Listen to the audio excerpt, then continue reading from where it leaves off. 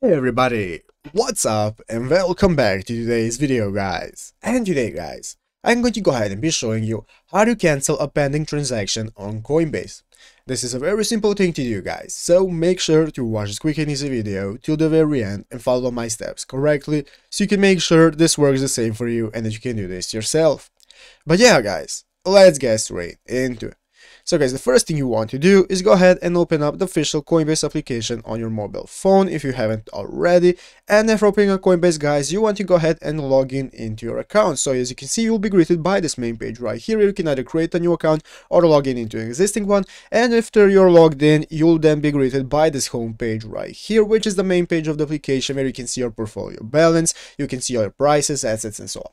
So guys, let's say that you have a pending transaction that you have done via the mobile app or on your computer, doesn't matter. Let's say that now you want to go ahead and cancel that transaction. Well guys, to be able to cancel that transaction, you'll only be able to do that on your PC or web browser. It is not possible on the mobile application.